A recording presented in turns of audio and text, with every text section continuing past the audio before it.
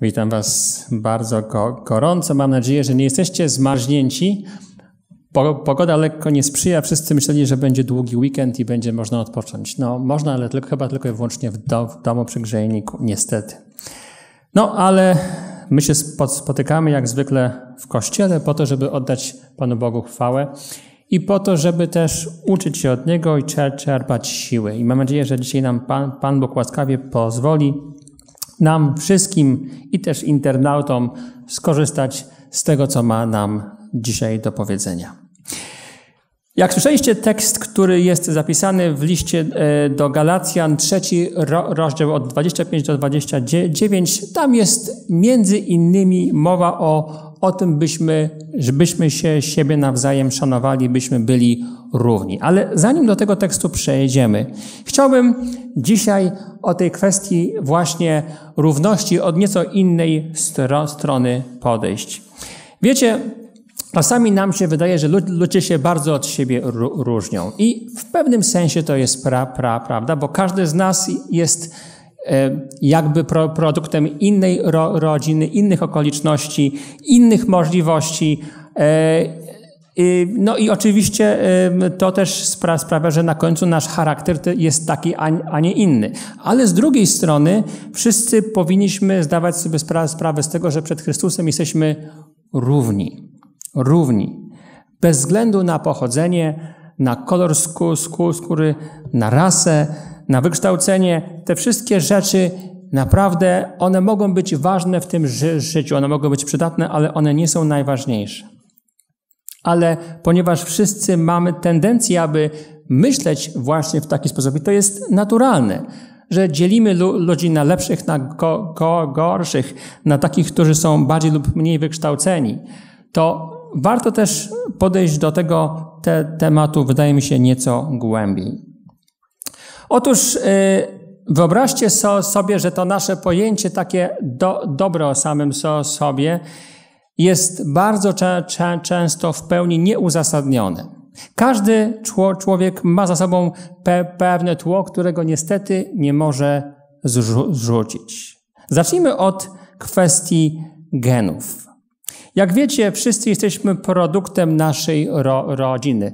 Najbliższe oczywiście jest to powiązanie z naszymi ro rodzicami, potem też z dziadkami, z tymi, którzy żyli też wcześniej oczywiście.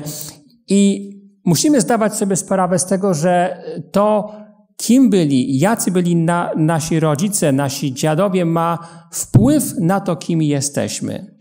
I to większe niż byśmy chcieli o tym myśleć od po, po, po połowy mniej, mniej więcej XIX, a potem już XX wieku przede wszystkim zaczęto się zastanawiać na, nad, nad tym, jak wygląda kwestia dzie, dzie, dzie, dzie, dzieliczenia. A kiedy zaczęto myśleć o kwestii genetyki, bo nauka na to pozwoliła, okazało się, że można wyśledzić te, te podobieństwa, można wyśledzić pewne rzeczy, które prze, prze, przechodzą z człowieka na człowieka i powiedzieć więcej na temat jego uwarunkowań, kim jest, niż byśmy y, to sobie mo mogli wyobrazić. I te rzeczy przechodzą niestety z pokolenia na pokolenie. Jest pe pe pewien dział genetyki, który nazywa się genetyką, to jest słowo, słowo, słowo spolszczone, behawiorystyczną, która zajmuje się tym, jak e, nasza genetyka wpływ, wpływ, wpływa na, na nasze za, zachowanie. I okazuje się, że ma ten wpływ znacznie większy niż byśmy myśleli. Jeżeli na przykład e, nasi rodzice wykazywali pe, pewne zachowania, jest bardzo prawdopodobne, że je odziedziczymy. E, I układ genetyczny, pe, pewne choroby, co nam się wydaje w miarę oczywiste, ale też i inne za, zaszłości mogą mieć wpływ na to, jak myślimy i jacy jesteśmy. I tutaj nie mówię tylko i wyłącznie o wyglądzie, mówię też o naszym charakterze. E, w, pra, w, pra, w pracy pod tytułem Behavioral Differences e, Matt McGew i to, Thomas Bo, Bouchard napisali, a jest to taka, mm, jest to e, zespół naukowy na Uniwersytecie w Minnesota. Zbadali, jak wygląda kwestia kodowania genetycznego i wpływ na, na charakter, na postępowanie, na ży, ży, ży, życie. I co ciekawe, patrzyli na przypadki bardzo nietypowe. bo patrzyli między innymi, jak wygląda ży, ży, życie bliźniąt rozdzielonych po urodzeniu. Co, co się okazało? Okazało się, że w wielu przypadkach ci do, dorośli lu, ludzie bra, brali ślub w tym samym cza, cza, czasie, mieli bardzo podobne wykształcenie, ich żo, żona albo mąż mieli bardzo podobny wy, wygląd. Właściwie ich życie się bardzo podobnie układało. E, Podobnie też jest, jeżeli na przykład popatrzymy na dzie przypadki dzie dzieci adoptowanych, nawet w bardzo młodym wie wieku. Oczywiście rodzice powinni mieć wpływ największy na, na, to, jak to dziecko wzrasta, jaki ma charakter. Ale okazuje się, że po pewnym cza czasie wychodzą pewne cechy charakteru, które nie są, e, nie, nie są wynikiem kształcenia w domu, ale są pewnymi zaszłościami, czymś, co zostaje z wcześniejszych po, po, pokoleń. I wiadomo na przykład, że kiedy są to przypadki osób, które wywodzą się na przykład na przykład y, z marginesu społecznego, to jest też niestety pe, pe, pewne ryzyko, że te zachowania mogą przyjść po, ponownie. A więc jest w tym mie miejscu niestety, jakby można rzec, takie bardzo może nieładne słowo, ale jest jakaś, jakiś de determinizm. Jest coś, co ma wpływ na nasze zachowanie.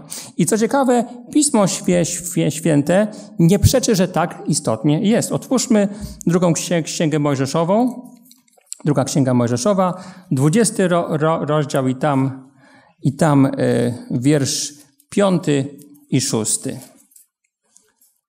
Może za, za, zaczniemy od czwa, czwa, czwartego. Nie czyń so, sobie podobizny że, że, rzeźbionej czegokolwiek, co jest na niebie, w górze i na, na ziemi w dole i tego, co jest w wodzie pod ziemią.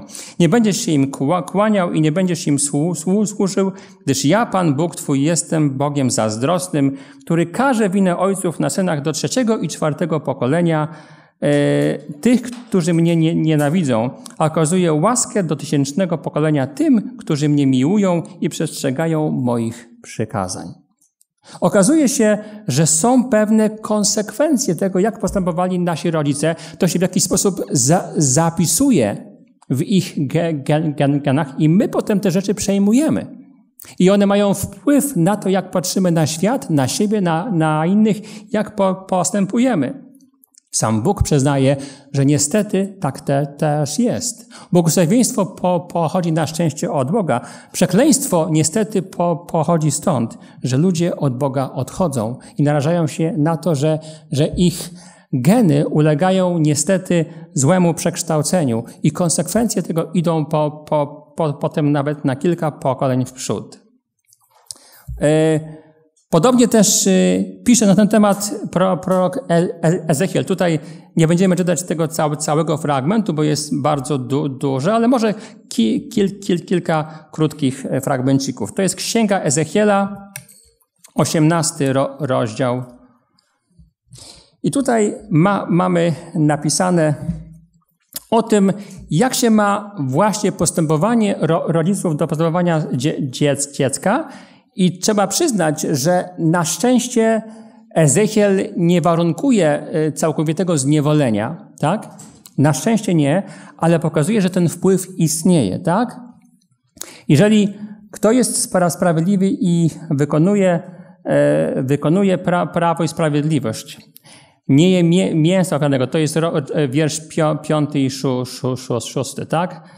Na górach i nie podnosi oczu ku bałwanom domu izraelskiego, nie hańbi żony swego bliźniego, nie obcuje z żoną podczas jej e, nieczystości, nie, u, nie uciska nikogo i dłużnikowi zwraca jego za, zastaw, nie dopuszcza się gwa, gwałtu, udziela chleba głodnemu, a nagiego przy, przyobleka w szatę, nie pożycza na lichwę, nie bierze odsetek itd., itd., itd. Dalej czy, czy, czy, czy, czytamy w wierszu dziewiątym, ten jest sprawiedliwy, on też na pewno będzie żył, mówi wszechmocny Pan. Lecz jeśli spłodził syna, uwaga, rozbójnika, tak? Przelewającego krew, który popełnił jeden z tych grzech, grzechów, chociaż e, e, on sam tego wszystkiego nie, nie popełnił, syna, który bie, bierze udział w ucztach ofiarnych na wzgórzach itd., itd., i dokładnie są te same rzeczy w tym miejscu wymienione. To jest co na końcu o nim napisane. Wiersz, e, wiersz 13. Na pewno poniesie śmierć, jego krew będzie na, na nim. I potem znowu, a jeżeli spłodzi syna, ten widzi wszystkie grzechy, grzechy, które popełniał jego ojciec i chociaż je widzi, nie popełnia ich. A więc jaki z tego rysuje nam się obraz? No, pokazuje nam, że mimo wszystko człowiek, patrząc na to, co dzieje się w jego rodzinie, tak, ma wybór. Wciąż może decydować, chociaż, chociaż ten wybór nie zawsze może być łatwy, tak? Bo syn może zaprzeć się postępowania swojego własnego ojca i może być odwrotnie, tak? Może być tak, że kiedy ojciec jest dobrym człowiekiem, syn jest złym i y, tak, że kiedy y, ojciec jest złym człowiekiem, syn jest do, dobry. Ale to nie oznacza, że to nie ma po, po, po, powiązań genetycznych, bo przecież my nie wiemy, czy na przykład nie jest tak, że we wcześniejszym po, pokoleniu był ktoś, kto pewne cechy wykazywał, a często tak jest niestety, że cechy genetyczne prze, prze, przechodzą niekoniecznie z pierwszego, ale z drugiego i nawet z trzeciego pokolenia. I mogą być te, te, wtedy bardzo silne. Widać to zwła, zwłaszcza po kwestii e, wyglądu ma, małych dzieci. One są czasami ba, ba, bardziej podobne do jednego albo drugiego dziadka niż do, do rodziców. To jest dziwne, ale tak też właśnie mo, może być. A więc widać, że jeżeli ktoś zrodził sy, sy, syna, tak, rozbójnika, to ten no, albo może pójść w ślady ojca, albo mo, może zaprzeć się tego, co robi ojciec i pójść w, dro, w, w drugą stronę. Natomiast pytanie, na ile ten rozbójnik jest zdeterminowany, aby sam tak po, postępować. Więc istnieje coś tak, tak, takiego, co można by nazwać skazą, skazą genetyczną. Jest to coś, co ciąży na wszystkich ludziach bez wyjątku i widać, widać tego, słuchajcie, konsekwencje.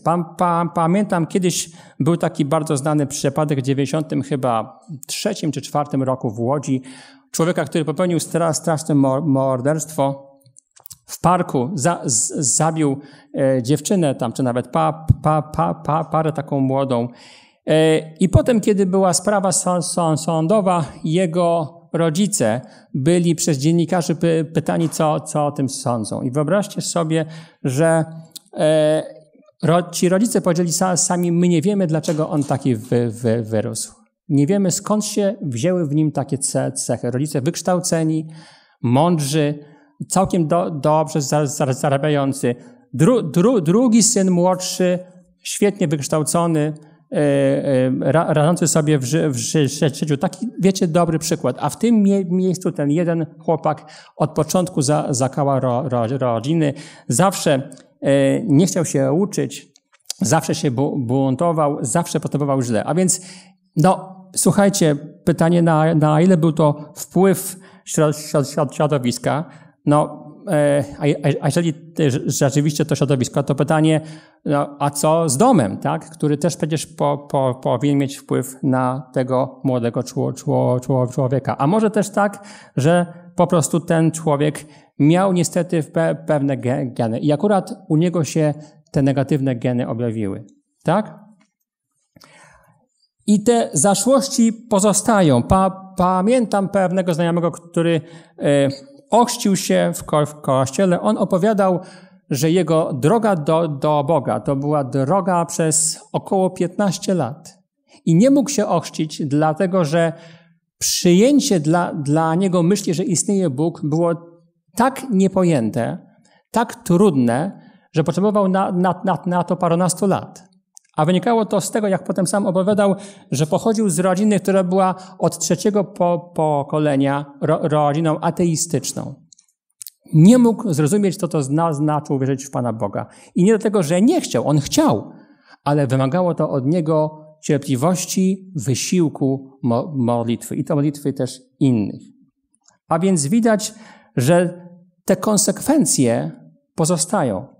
One się nie zawsze objawiają w tym samym po, pokoleniu, nie zawsze w taki sam spo, sposób, nie zawsze u każdego na tym jednym pokoleniu, ale po, pozostają.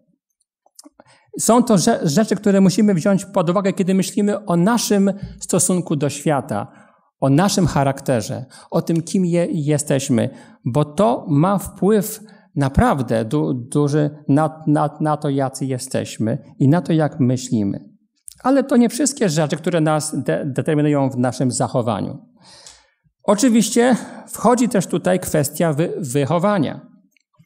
Ci, którzy się tym interesują, wiedzą o tym, że generalnie uważa się, że największy wpływ na dzieci, na to, jakie one będą, wy, wy, wywiera się przez pierwszy rok ży, życia tego dziecka.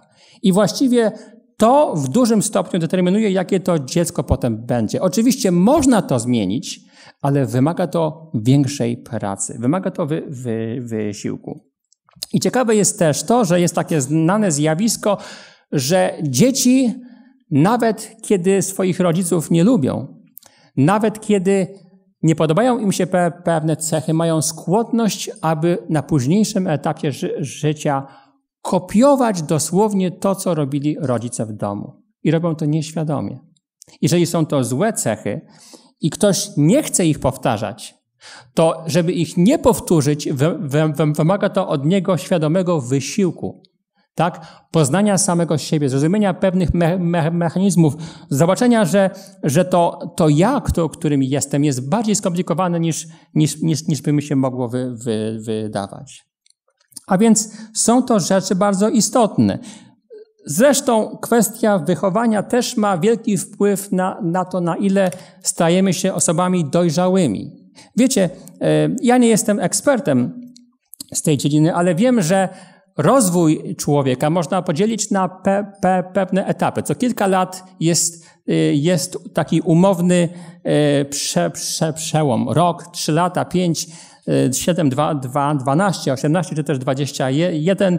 I mówi się, że na każdym z tych etapów rosnący młody człowiek musi osiągnąć pe, pewne cechy, umiejętności, i w niektórych przypadkach potrzebuje do, do, do, do tego tylko właśnie właściwie ruchu, a do innych potrzebuje obecności i właściwego działania rodziców. Jeżeli na przykład zabraknie pe, pe, pewnego działania ze strony ojca albo matki, bo ten lub też ta nie potrafią obdarzyć tego dziecka tymi cechami, to jest bardzo spora szansa na to, że to dziecko dalej się będzie roz, rozwijało, ale ten jakby, wybaczcie to słowo, niedorozwój pozostanie jako pe, pe, pe, pe, pe, pewien ślad, szrama, która będzie na życiu tego czło, czło, człowieka do momentu, dopóki sam y, czegoś z tym nie zrobi. Można to po, po, porównać do E, uczenia się matematyki. Wyobraźcie sobie kogoś, kto, kto uczy się na początku matematyki i nie nauczył się tabliczki mnożenia, a potem idzie da, da, da, dalej i uczy się da, dalej matematyki. I on poznaje aż do, aż do poziomu maturalnego, tak? Tak to mniej, więcej wy, wygląda. I wiecie, kwestia tego, e, jak sobie z tym po, poradzić, bywa naprawdę bardzo, bardzo trudne. Ja nie jestem psy, psychologiem, myślę, że psy, psycholodzy mogliby na ten temat więcej powiedzieć, ale czasami, jak się używa różnych te, te, te, terapii, o których miałem okazję troszeczkę poczytać, potrzeba jest, aby cofnąć się dosłownie do tego etapu, który nie został odpowiednio rozwinięty. Tam postawić właściwe wa warunki, nawet czasami po postawić postać, która będzie odgrywała rolę ojca albo matki, jeżeli tego już nie ma albo nie potrafi tej roli odegrać, i wykonać tę pracę, która jest niewykonana. Naprawić charakter. Tak to właśnie jest z tymi rzeczami, które mają wpływ na nasze postępowanie. Ale to, to nie wszystko. Mamy jeszcze inne elementy, o których w tym miejscu chciałbym wspomnieć. Oczywiście jest kultura, w której wzrastamy. I kultura okazuje się też ma wpływ na nasz charakter i nasze postępowanie. Mówi się o tym, że pe pewne rzeczy do, dotyczące naszych uprzedzeń, a także nasze pojęcie normalności jest oczywiście nieobiektywne. Nam się wydaje, że jest obiektywne, bo wszyscy wokół nas tak postępują, tak? A przynajmniej jest jakiś wachlarz za zachowań, które nam się tak jawią. W rzeczywistości je jednak jest to, jak mówi się, wypadkowa życia w pewnej kulturze. I są to rzeczy, które, których my nie odkrywamy. One są w jakiś sposób schowane podprogowo i one mają wpływ na to, jak oceniamy e, drugiego człowieka, bliźniego, jak patrzymy na inność, jak patrzymy na normalność. Te wszystkie rzeczy się objawiają i dopiero takie oddzieranie tego, kim jesteśmy, patrzenie na inne kultury, patrzenie na, na świat, jak świat postępuje, może nas uleczyć z takiego spo, spo, spojrzenia. I w istocie właściwie od tego się zaczęły badania kulturowe w XX wieku, a nawet w XIX, gdzie starano się właśnie bardziej w otwarty sposób patrzeć na kulturę i rozumieć. A więc kultura, to co nazywamy enkulturacją, koduje nas na pe pewne myślenie, a także na odpowiednią etykę postępowania. To wszystko wciąż ma na, na nas wpływ. No i jeszcze dwa elementy. Język. Wiecie, nam się wydaje, że język jest zwykle wypadkową da danej kultury. I to prawda.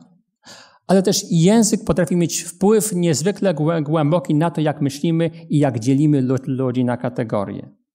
Wyobraźcie sobie, że jest takie pewne plemię, gdzie um, istnieją dwa dia dialekty. Jeden jest używany dla, wo, wo, wo, wobec osób, które są z nami blisko związane i są jak, jakby bliską rodziną. Drugi dia, dia, dialekt jest używany wobec osób, które są z nami niezwiązane, chociaż są z tego samego plemienia. I okazuje się, że e, w tym plemieniu samo użycie je, języka, tak, determinuje kwestię wartościowania. Kim jest ta osoba dla, dla mnie? Jeżeli ojciec używa na przykład e, da, danego dialektu, tego dla osób obcych, dla kogoś, kto jest z rodziny, to oznacza to, że ta osoba jest dla, dla nas obca, tak?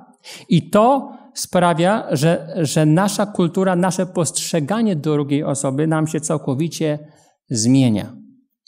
Takie są rzeczy, które też można wziąć pod uwagę, kiedy myślimy o, o nas jako o ludziach, którzy są ofiarami grzech, grzech, grzechu.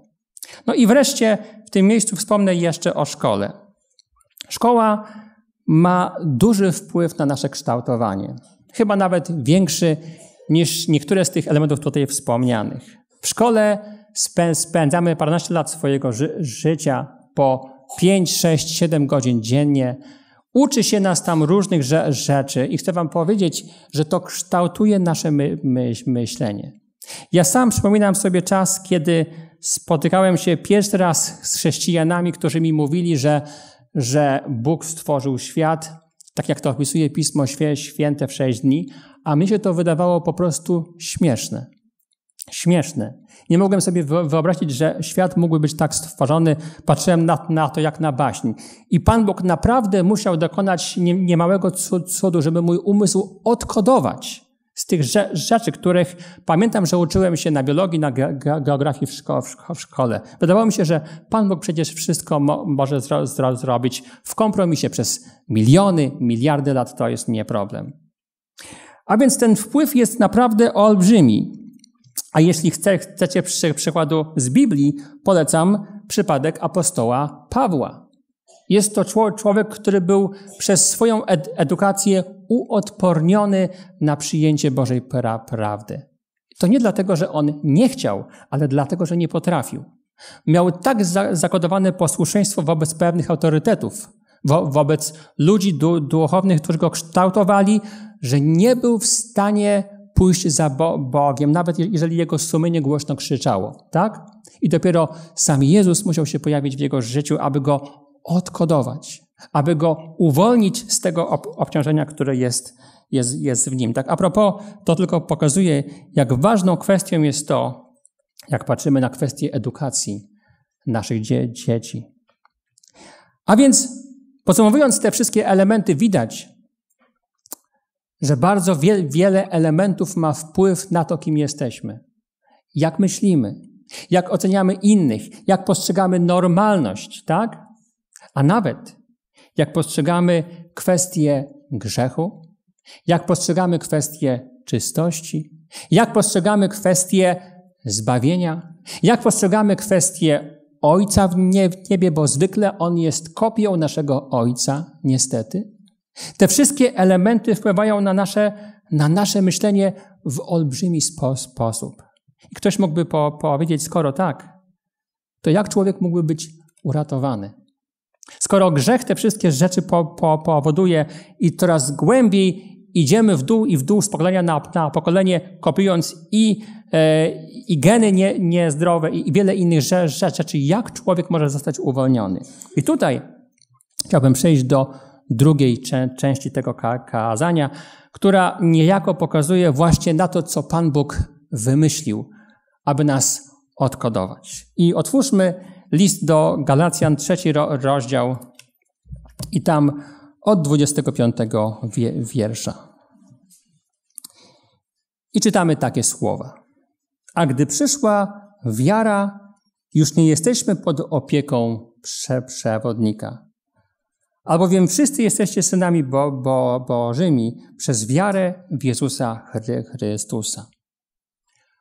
Okazuje się, że Pan Bóg stawia pewną, pewną przeciwwagę tym wszystkim elementom. Jaka jest to prze, prze, przeciwwaga? Mówi wprost. Jest to wiara. Wiara. Wiara, która jest w stanie prze, prze, przeciwdziałać wszystkim, nawet najbardziej tragicznym uwarunkowaniom, pozostałościom z naszego dzie, dzieciństwa, rzeczom, które mają wpływ na to, jak potrafimy żyć albo jak żyć nie, nie potrafimy. I to odniesienie w tym miejscu tutaj jest, jest do zakonu, ale chodzi tutaj też o zwycięstwo w mocy wiary. O zwycięstwo. Innymi słowy, Pan Bóg pokazuje, że ci, którzy odnajdują Pana Boga, ci, którzy wiedzą, na czym polega zbawienie, mają prawo, aby mieć aspiracje do życia sprawiedliwego. Mają pra prawo, aby oczekiwać, że ich życie będzie lepsze niż to, jak zostali zakodowani. Będzie lepsze i będą postrzegać świat i innych nie wzrokiem, nie słuchem, nie przez to, co mówią nasze ge ge geny, nie przez enkulturację, ale przez wiarę. Bo Jezus wszystkich zjednoczył w swojej krwi, abyśmy nie postrzegali innych i nie byli postrzegani przez oblicza naszych słabości i ograniczeń, przez nasze grzechy, nieumiejętności, przez rzeczy, które nas właściwie skazują na śmieszność, na rzeczy, które są złe, ale są, ale są. I dalej czy, czy, czy czytamy, albowiem, albowiem jakby w tym mie miejscu apostoł pa Paweł mówi, e, bo pomimo tego, że pomimo tego, że jest tyle elementów, które na pewnym etapie życia odkrywacie, bo wiecie, Pan Bóg nie pokazuje nam naszego całego ja od początku w, ca w całości. Nie pokazuje nam, jacy jesteśmy w całości, bo gdyby to zrobił, to byśmy umarli. Pan Bóg bardzo delikatnie odkrywa prze, przed nami krok po, po kroku nasze pra, pra, prawdziwe ja przez lata, po to, aby nam pokazać, jakie ciążą na, na, na nas y, obciążenia i co trzeba zrobić. Pan Bóg chce, żeby te wszystkie rzeczy odeszły. Po, po, po, po, pomimo tego wszystkiego, wszyscy jesteście synami Bożymi przez wiarę w Jezusa Chrystusa. Wszyscy. To jest tak, jakby Pan Bóg chciał po, powiedzieć, że w moim Bo Bożym Kościele, wśród tych, którzy są świe, święci, nie ma czegoś takiego jak utożsamianie człowieka przez to, kim jest albo co zrobił. Ale przez co? Przez to, że oddał się Chrystusowi. Przez to, że, że uwierzył i od tej pory to tak, jakby jego imię odeszło w niepamięć. Pan Bóg postrzega nas prze, przecież przez pryzmat swojego własnego syna. I mówi: Ten, kto przyjmuje syna, ten staje się jak mój syn, usynowiony adoptowany, przy, przyjęty na równi z synem i mówi, ja wtedy widzę mojego syna, a nie widzę was. Chociaż nie, nie mówi tego po, po to, abyśmy się, abyśmy się czu, czuli niedocenieni, odrzuceni. Nie. Mówi to po to, abyśmy nie pamiętali o naszych grzechach, o naszych słabościach, o tym, o czym wiemy, że przyszło do nas jest w naszym charakterze, z czym sobie nie, nie radzimy. Ale Pan Bóg mówi, ja wiem, że to jest ale ja wam chcę dać siłę, abyście to po, po, po, pokonali. I dla mnie to nie jest ważne. Dla mnie jest ważne to, co chcecie zrobić i co jest w waszym sercu. Wiersz 27 mówi dalej.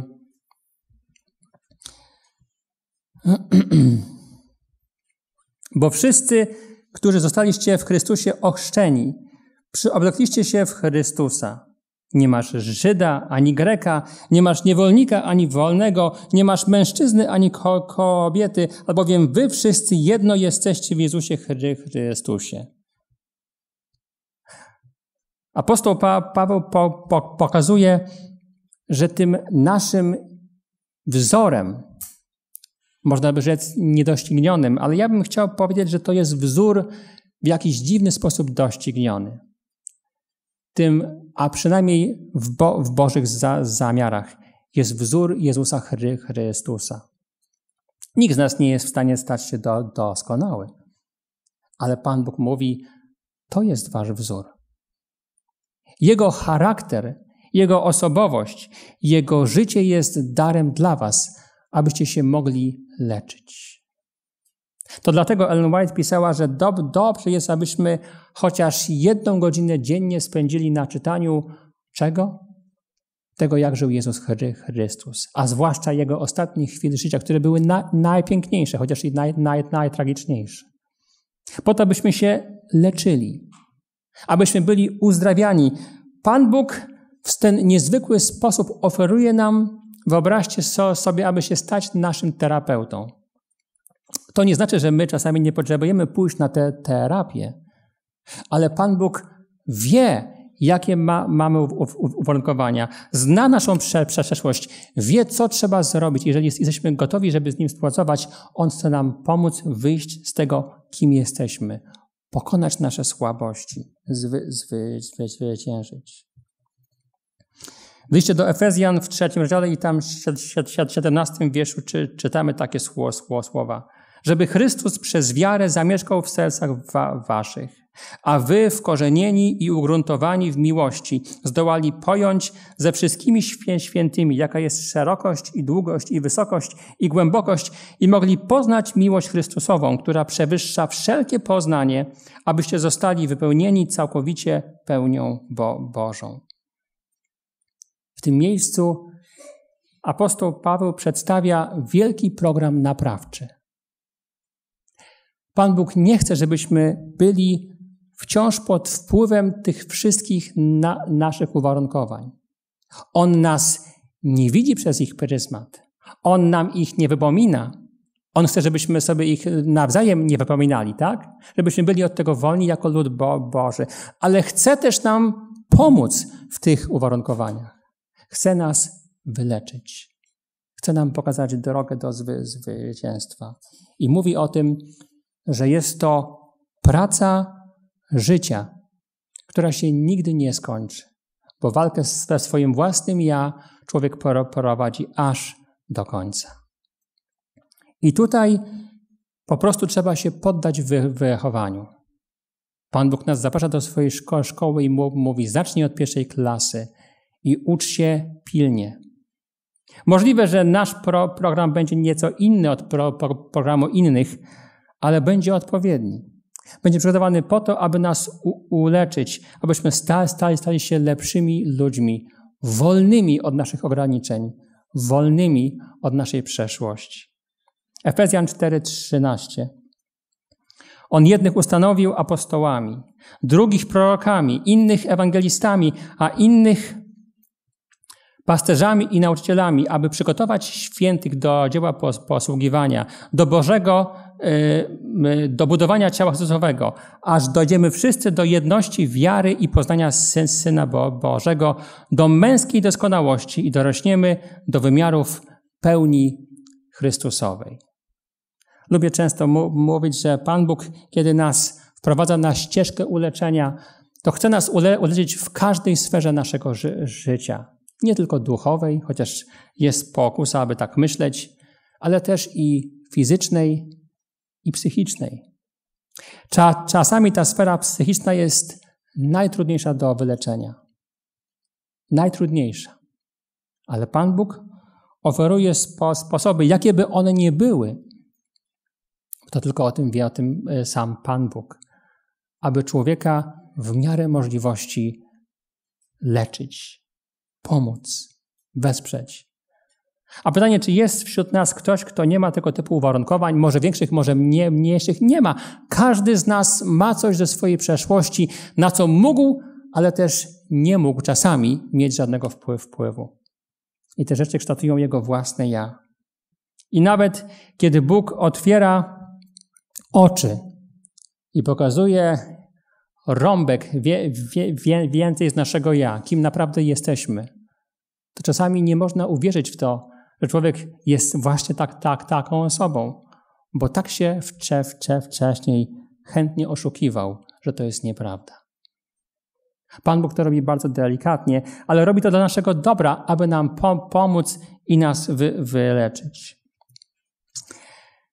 Czytamy w objawieniu 22:14 takie słowa. Objawienie 22:14.